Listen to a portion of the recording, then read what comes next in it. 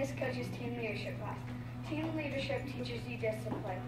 It also teaches you how to apply yourself, how to apply certain things in life. I learned how to write speeches for one, and why they are important. We learn how to how our attitude can affect others around us.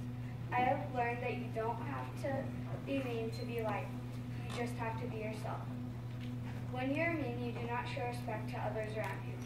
I have applied this to my life by not discriminating against others.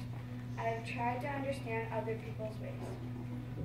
I have been patient with other people so I can get to know them for who they want me to know them as, not who they think they are. People in our school think it is okay to bully one another.